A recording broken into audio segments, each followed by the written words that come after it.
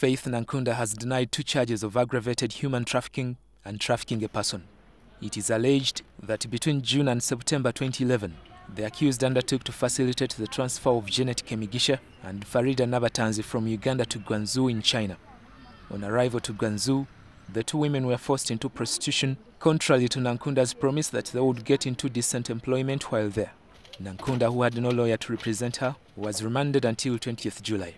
Other human trafficking cases are expected in court after a number of girls returned from the Middle East, where they claim they were sold into forced labor and prostitution. I agree with the reasons. Meanwhile, Sarah Achieng Opendi, the Tororo woman member of parliament, who also doubles as the state minister for lands, retains her seat after justices of the Court of Appeal overturned the High Court order of a re-election. FDC's Kezia Nyakecho filed an election petition against Achieng, claiming the NRM politician bribed voters and facilitated a spin of the election results.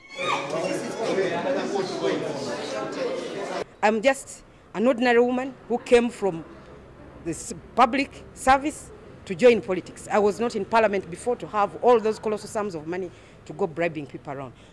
And though justice has been denied to me, but life continues, and that is not the end of my political road, because we know.